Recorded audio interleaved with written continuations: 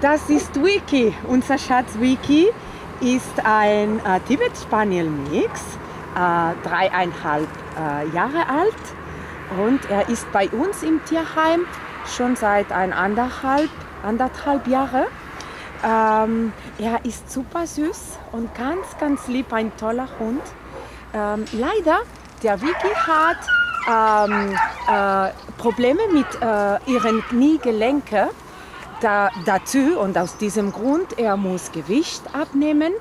Aber das alles ist uns leider im Tierheim unmöglich und aus diesem Grund, er sucht dringend eine Familie. Hm? Ähm, wir wünschen äh, Wiki äh, für 2015 eine tolle Familie.